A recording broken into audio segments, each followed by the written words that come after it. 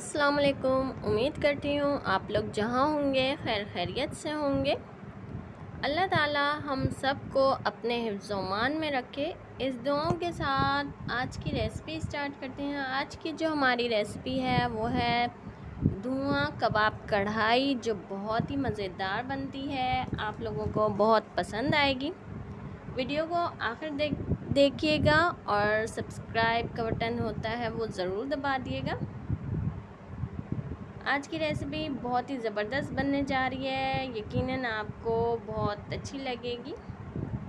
आइए स्टार्ट करते हैं।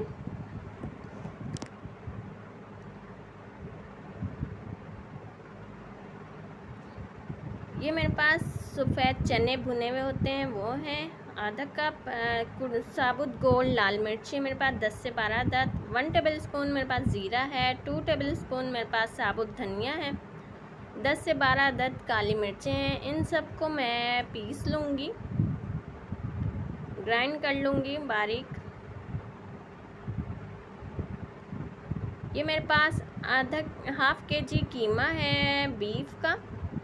आप चाहें तो चिकन और मटन भी इसमें इस्तेमाल कर सकती हैं। मेरे पास वन टेबल स्पून नमक, वन टेबल स्पून पिस पिसी हुई लाल मिर्चें वन टेबल स्पून अनारदाना मैंने लिया है, वो मैं इसमें कीमे में ऐड कर रही हूँ। ये पिसा हुआ मसाला जो मैंने ग्राइंड किया है, वो मैंने इसमें शामिल कर दिया है।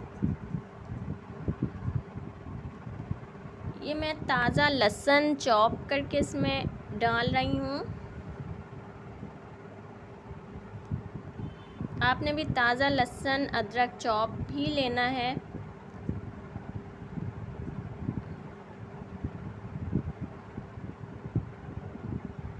क्योंकि ताज़े लहसुन, अदरक की खुशबू बहुत ज़बरदस्त आती है खानों में।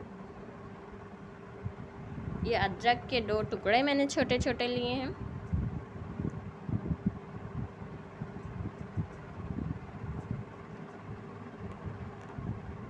इसमें ऐड करके आपने इसको अच्छी तरह मिक्स करना है।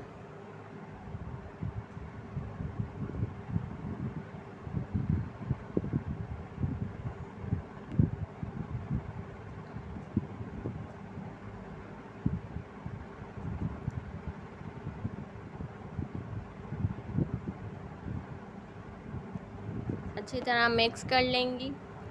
अब मैं इसमें वन टेबल स्पून घी मैं इसमें ऐड करूँगी। ऑयल नहीं डाला है वेजिटेबल घी मैंने इस्तेमाल किया है इसमें। इसको भी हाथ की मदद से आपने अच्छी तरह मिक्स कर लेना है।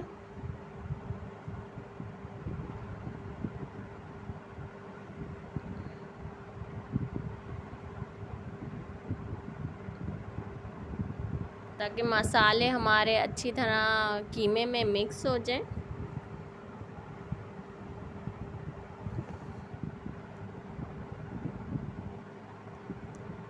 अब मैं इसको मैरिनेट करने के लिए रख दूँगी चार से पाँच घंटे के लिए।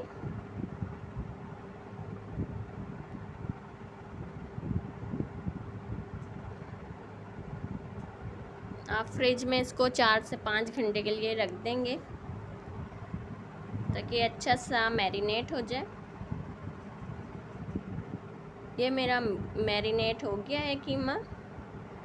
अब मैं इसमें चॉप प्याज मैंने लिया एक और दो हरी मिर्चें मैंने चॉप ली हैं।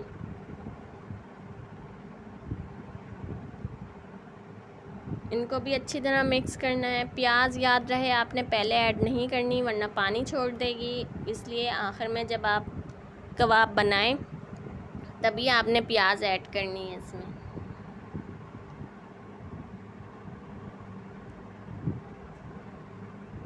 अब आप अपने हिसाब से कोई सा भी शेप दे सकती हैं कबाबों का। इस तरह कबाब बना के आप चार से पाँच महीने के लिए फ्रीज़ भी कर सकती हैं। किसी गेस्ट ने आना हो, मेहमान ने आना हो तो आप पहले भी बना के इसको फ्रीज़ करके रख सकती हैं।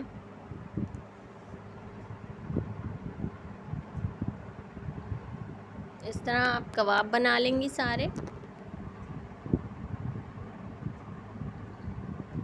ये मेरे पास दो बड़ी प्याज मैंने ली थी, इनको मैं बारीक चॉप कर लूँगी, पीसूँगी नहीं।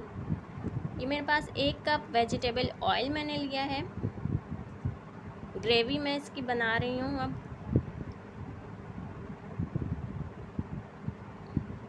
ये प्याज को मैं फ्राई करूँगी। चॉप कर ली है मैंने प्याज।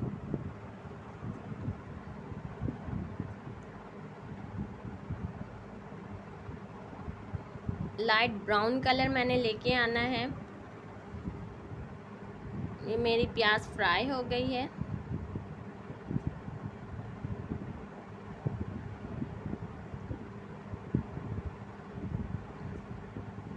इसमें ताज़ा लहसुन डाल रही हूँ, ऐड कर रही हूँ।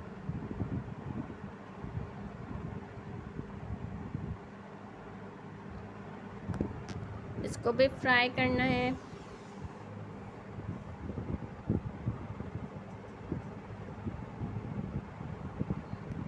मेरे पास दो टमाटर बड़े थे, वो उनको मैंने पीस लिया था, ग्राइंड कर लिया था। वो मैंने इसमें डाल दिए हैं।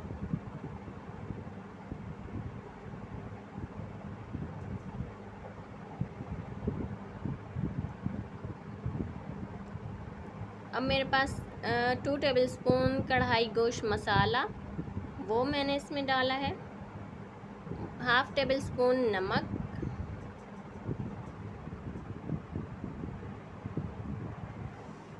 ऐड किया है और अच्छी तरह मिक्स करना है आपने।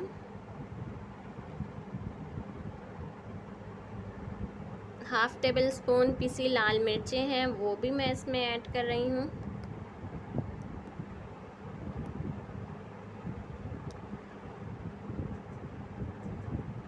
मेरे पास दही, हाफ़ कप दही है, वो मैंने इसमें डाली है। और स्पून को आपने जल्दी जल्दी चलाना है ताकि दही के लम्स ना बने। अच्छी तरह मसाले को हमने भूनना है। दही डालने के बाद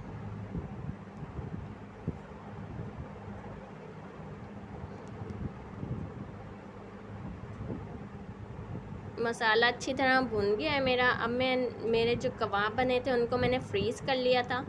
वो मैं इसमें डाल रही हूँ। आपने अलग अलग ही कबाबों को रखना है इसमें। मसाले में एक के ऊपर एक नहीं डालना।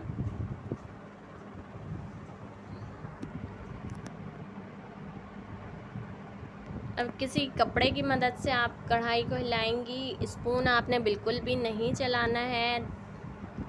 बिल्कुल लो, दरमियानी फ्लेम पे इन कबाबों को पकने देना है। कवर भी नहीं करना। दस से पंद्रह मिनट ये पक, पकेंगे।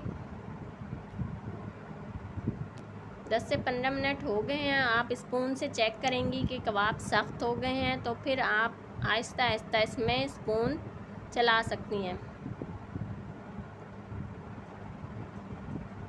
इस तरीके से आपने स्पून इसको चलाना है।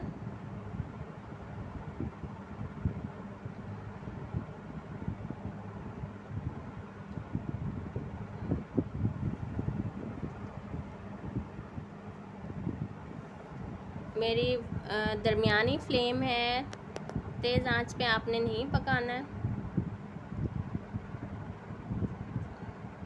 मैं इसको कवर करके पाँच मिनट के लिए रख दूँगी लो फ्लेम पे।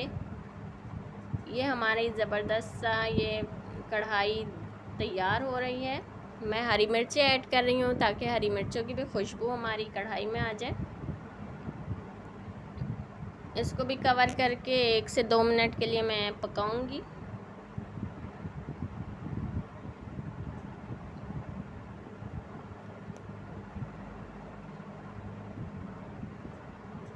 से दो मिनट हो गए हैं।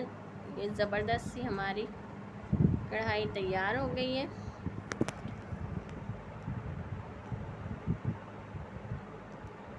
अब मैं इसमें आ, कोयले का धुआँ मैंने इसमें देना है फॉइल पेपर रखा है मैंने।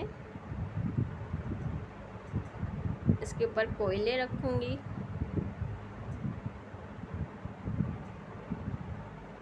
फ्लेम मैंने ऑफ़ कर दिया है। ये धुआँ देना है आपने सिर्फ़ एक मिनट के लिए। धुआँ हमारा आ गया है। कोयले का धुआँ लग गया है इसमें। फॉइल पेपर निकाल लेंगे आप। ये ज़बरदस्त सी हमारी कढ़ाई तैयार हो गई है।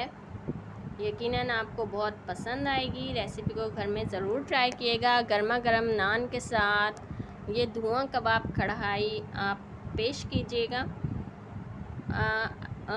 जब तक के लिए अगली रेसिपी के लिए इजाज़त दें। लेकिन लाइक, शेयर और सब्सक्राइब ज़रूर कर दीजिएगा। अल्लाह हाफिज़।